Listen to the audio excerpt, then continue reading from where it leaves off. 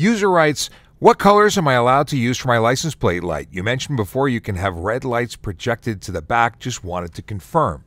You can only use white lights to illuminate your license plate. Only white. No red. Not for that.